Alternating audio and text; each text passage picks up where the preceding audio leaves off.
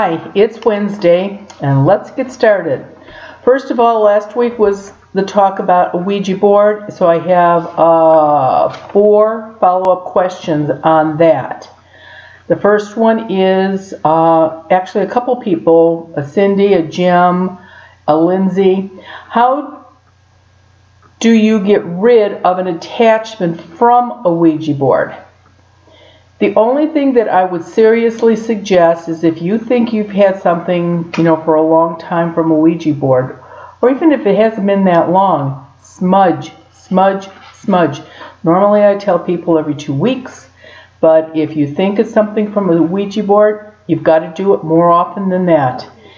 You have to remember, smudging will make whoever is attached to you lethargic, laid back. You will see a huge difference. And if you do it enough, they'll get disgusted and leave. Second one from Beth. I thought Procter & Gamble uh, made and owned the Ouija boards. I believe they were one of the companies that also did, but there were a lot of companies that made them, and that I remember that everybody said, "Well, Procter & Gamble sells soap. Why would they make something like that?" Why not? Third one, I really, really want to use a Ouija board, and I am an adult. Um, how do I protect myself? And this is from Yvonne. I can't even imagine why somebody would really, really want to use a Ouija board, but if you do, um, I guess I would smudge before you started using it, of course, that would probably, in all honesty, block somebody from coming in, which in my world would be a good thing. But if you're just hell bent on doing it, then I suggest that you smudge, have the smudge stick right there, and smudge after you are done using the Ouija board. Um, if you're doing this for yourself, by yourself, that would probably work just fine.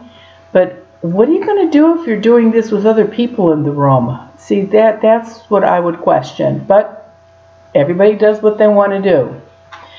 The last question is, if you don't ask personal questions, just fun questions, will we be in trouble? I don't know what fun questions are. Mm, again, I would just say please do not use a Ouija board. I don't think it's like somebody uh, saying that they do gray, they don't do black, they don't do white, they're sort of in the middle.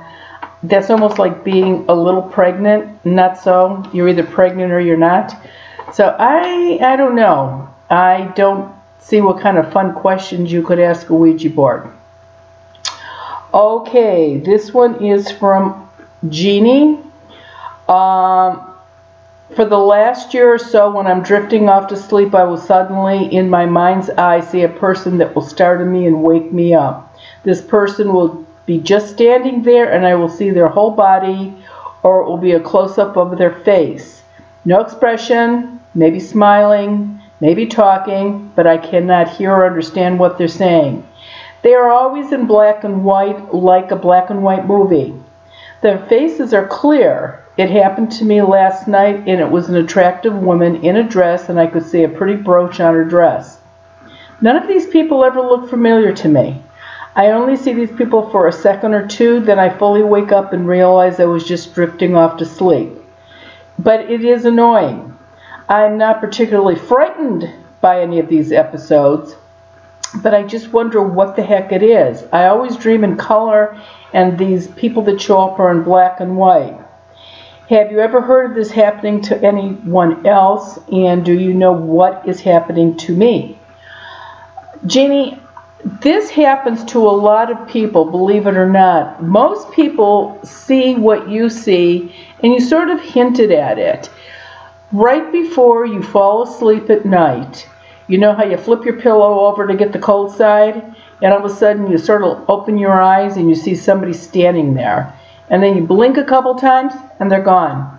Or in the morning, the alarm clock goes off, you reach over and you hit it for 10 more minutes for the snooze button, and when you did that, you spotted somebody in the room.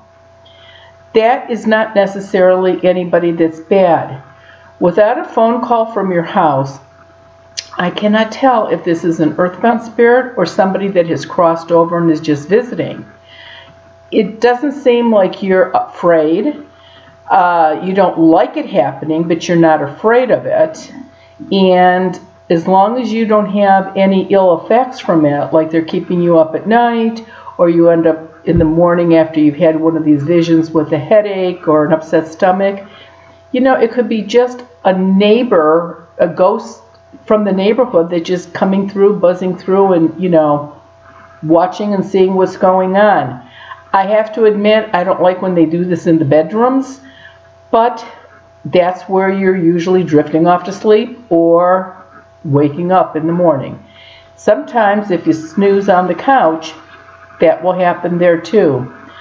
I would try to keep track of it on a calendar on how often it's it is. Um, you might see that it happens the week working up to a full moon more than any other time of the month or around the new moon. If that's the case, if you can pinpoint when it's happening, why don't you why don't you smudge during that time? And maybe that'll stop them from coming in. Uh, okay, that takes care of Jeannie. This one is from Debbie. And Debbie is in Ohio also. I'm so glad you started to do YouTube. Uh, it really addresses a lot of my questions. But I'd really like to know this, and I just started catching up on some of them, so maybe you've answered this before, and I'm sorry, but I really need to know.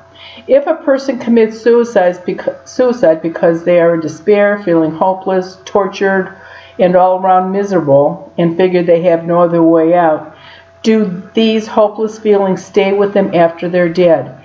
While they're earthbound, to a point they do. Once they go into the light, though, they everything is cured. It's like people that have illnesses or sick. You you go back to normal.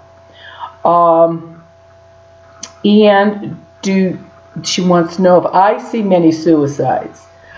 Lately, I do, uh, especially in the last seven or eight years, and unfortunately, it's been really younger people.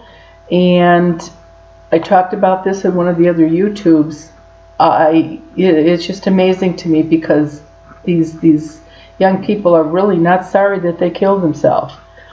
Um, and yes, they can go to the light, absolutely. And sometimes they can see people in the light that they know that will talk them into crossing over. So, no, they don't wander around in that state. You know, there are definitely, you know, ways for them to cross over.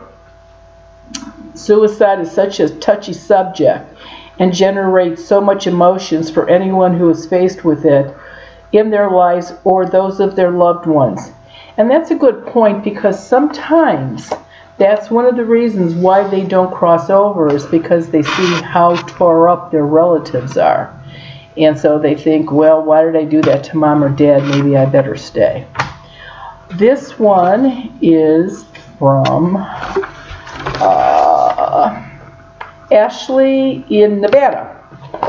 My co-worker and I listen to your YouTube videos while we are working in our office. I recently got a quince seed charm and beaded a necklace to go with it. I am Native American and we have a protection seed as well. It has a few names, cedar, juniper, um, and or ghost bead. It is called other names as well. Ann and I have a few questions for you, so here we go. One, when did you discover you could create the white light? How do you do it? Can, can anyone do this or learn it? I, my grandmother taught me how to do it when I was seven, and I believe anybody can do it. It's just a matter of practice, practice, practice. Uh, she asked about suicides. The second questions are all suicides earthbound or can someone cross them over if they choose? correct? I just answered that, yes. Uh, third one, I've been hearing the door move in my hallway. How can I tell if it's a ghost? The only way that I can tell if it's a ghost is for a phone call from your area or from the house where you think or wherever the problem is. And or the other thing that you could do is try smudging every two weeks and if it stops, then you know an earthbound spirit was doing it and it's gone now. Uh, several deaths, suicides, accidents have occurred in our small town. Are they related in some way? I don't know. I think sometimes things come in waves. I know this time of the year around the holidays, everybody says that suicides happen more often because people are more depressed during holidays. So there may be something to it.